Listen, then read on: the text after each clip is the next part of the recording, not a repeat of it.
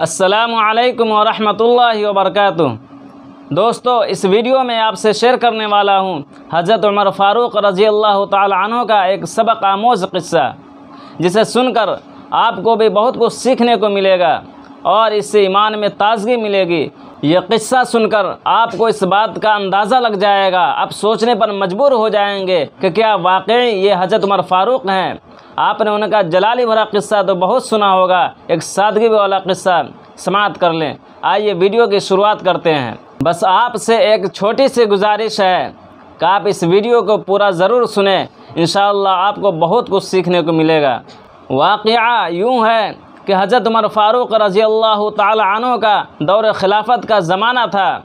वो एक मरतबा जुमा की नमाज़ पढ़ाने के लिए मस्जिद की तरफ़ निकले।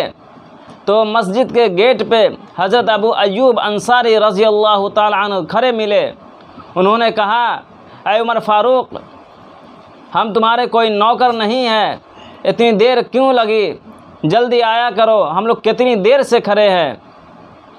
ये बात सुनकर हज़रत उमर फ़ारूक रज़ी अल्लाह तन खामोश हो गए। कुछ जवाब नहीं दिया।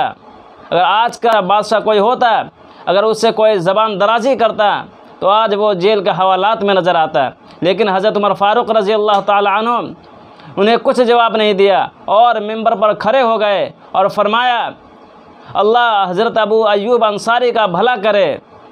उसने मेरी रहनुमाई की है। और फरमाया कि अल्लाह अबू अयूब अंसारी का भला करे, जब तक ऐसे लोग मौजूद हैं, बादशाह कभी बिगड़ेगा नहीं। उसके बाद हज़रत उमर फ़ारूक रज़ी अल्लाह तु रोने लगे और फरमाने लगे, मुसलमानों, मुझे माफ़ कर दो, मेरी गलती नहीं है। मुझे इसलिए देर हो गई कि मेरे पास एक ही कुर्ता था और वो भी अब्दुल्ला की माँ ने उसे धो कर रखा था।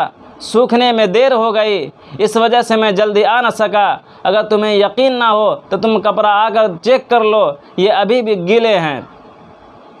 कुर्बान जाओ मेरे भाइयों। हज़रत उमर फ़ारूक रज़ी अल्लाह तु के इस सादगी पे।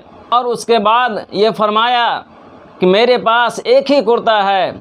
उसके अलावा और दूसरा कोई कुर्ता नहीं है। मैं गरीब आदमी हूँ। कुर्बान जाओ मेरे भाइयों हज़रत उमर फ़ारूक रज़ी अल्लाह तु के इस, इस बात पे जिसकी हुकूमत तीन बर आज़म पे हो जिनकी बादशाहत आधे दुनिया पे कायम हो जिनकी डर से कैसर किसरा घबराते हों और वो एक ही कपड़े पे काम चलाता हो फिर भी उसकी नमाज़ कज़ा ना होती हो। मेरे भाइयों ये हैं हज़रत उमर फ़ारूक रज़ी अल्लाह तन ये अल्लाह के नबी के ये दूसरे खलीफा हैं। ये जलाली तो बहुत हैं, लेकिन ज़ाती मामले में जलाली नहीं है।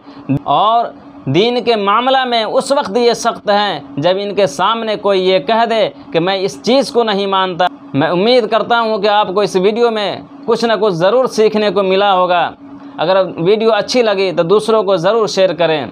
अगर हमारे चैनल पर पहली बार हैं तो हमारे चैनल को सब्सक्राइब करें। खुदा हाफिज़।